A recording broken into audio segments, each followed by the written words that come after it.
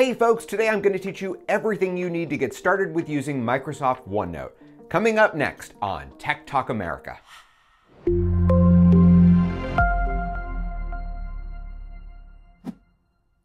Hey folks, and welcome to the class. When it comes to note-taking software, there are a lot of different options to choose from, and the best solution for you may be very different for someone else.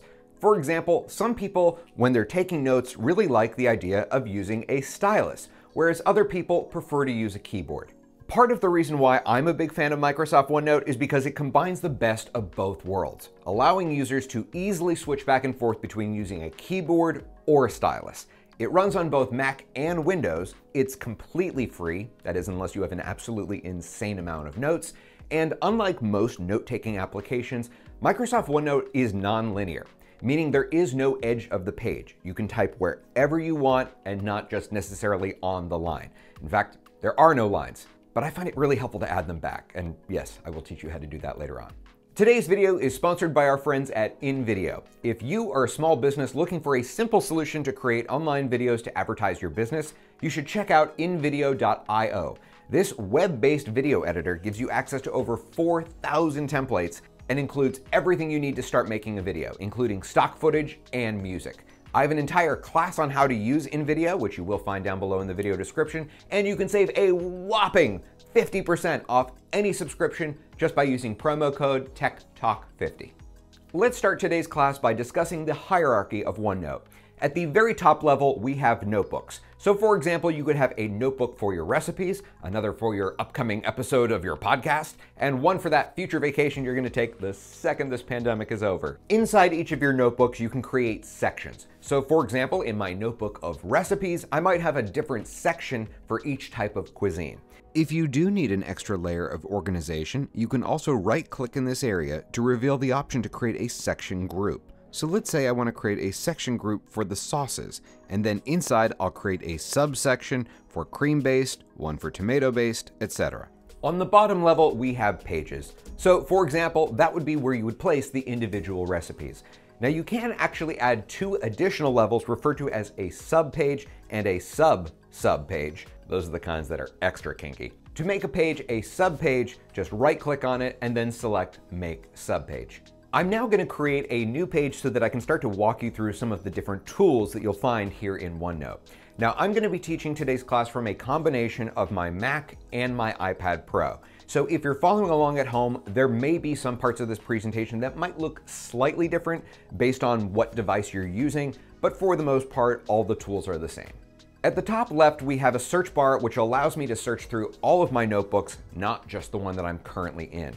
Now you can also use this feature to search for tags that have been placed in different documents, and we're gonna cover how to do that in just a minute. One of the features in OneNote that I absolutely love is a feature called OCR, which stands for Optical Character Recognition. What this means is if I take a photo of a document, OneNote is able to recognize that image of text as text, which lets you do some pretty cool things later on. So for example, let's say I'm trying to locate my Mark Bittman recipe for crispy potatoes. Seriously, they're the best.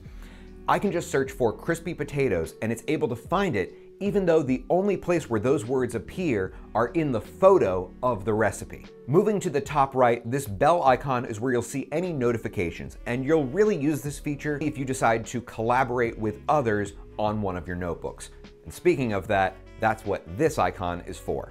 You can either invite someone else to collaborate on your notebook, or if you want to only share one specific page, you can attach it as a PDF through this option. This gear icon you'll only find on the iPad version, otherwise all of these settings are located in preferences. And the one thing that I wanted to point out, which is a brand new feature, is absolutely perfect for teachers. Uh, the name of that feature is called Class Notebook. And when I enable this feature, you'll see that a new notebook appears with a whole bunch of options that you don't get in a normal notebook. For example, you can distribute a document to a group of people. You can also review your students' homework and a lot more features. If you need any more information about how to use the new class notebook feature, I will be happy to include some links to resources down below in the video description. If you're using a tablet, this icon at the top right will hide or reveal the navigation menu, which is really nice when you're using a smaller screen. Let's now begin to go through the different menus, starting with the home menu. Here you'll find the basic text and formatting options that you'd expect to find in pretty much any note-taking software. Here at the right, you'll find a variety of different ways that you can tag your pages. Now this feature can be useful when trying to locate pages in different notebooks, but honestly, how well this feature works for you may greatly vary depending on what types of devices you're using. Now, don't get me wrong, I still love OneNote, but the tags feature is one of these features that could definitely be improved in my opinion, simply by streamlining the options across all devices.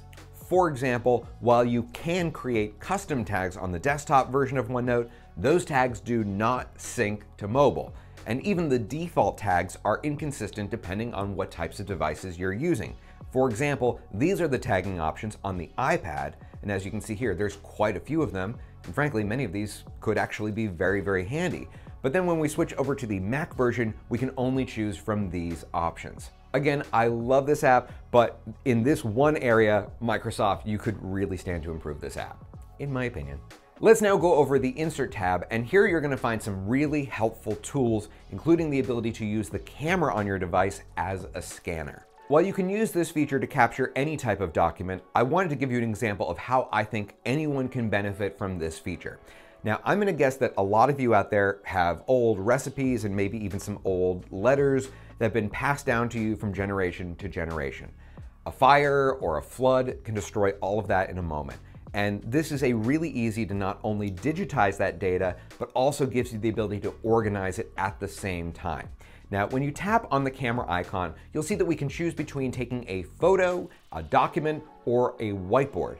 Then just hold up your camera to the document and tap to take a photo. Another tool that can be very handy is the audio tool. This uses the microphone on your device to allow you to create a quick dictation which will be saved inside of your document. That's where Bob Woodward filled up his storage. We're gonna skip over a few of these other tools just so that we can focus on the good stuff. And so what we're gonna do now is switch over to the Draw menu. And this is the menu that you'll want to familiarize yourself if you like using a stylus like the Apple Pencil, which I have to say I really enjoy even though my writing is terrible. Now, right off the bat, I want you to notice that the options to switch back and forth between text and drawing modes are at opposite sides of this menu. The Lasso Select tool is great anytime you need to move stuff around. So I can just use this tool, draw a circle around my text, and now if I need to move it to a different part of the document, I can just drag it and drop it there. All of your basic shapes you can find right here. This ink to shape tool makes it so that if I try to draw a circle, which God knows will not be perfect, it will automatically correct it into a true circle. This also works with other shapes. Switching over to the view menu, you'll find the option for spell check. This right here will switch the background back and forth between light mode and dark mode. This immersive reading feature will eliminate all distractions, fill the entire page, and it even contains an option where it will read all of the text out loud. Now this feature also works with scan documents, and for that reason, I think this could be potentially a really handy tool for parents as well as the disabled community. For those of you who do enjoy using a stylus, you might want to consider changing the paper style to add lines to your document. I know at least for me, this is very helpful. If there are any parts of your notebook that you would like to secure with a password, you can add that option here. Just be aware that you can only add a password to a section, not an individual page. Now that we've covered the majority of OneNote, I would like to give you a few more quick tips to help improve your productivity. For those of you who use Google Chrome, you will definitely want to install the OneNote Web Clipper. This feature makes it super easy to save content directly from a website into a OneNote document. You can choose between saving the entire page, a selected region, article mode, which is personally my favorite, and finally there is an option where you can save a bookmark so it just copies the URL.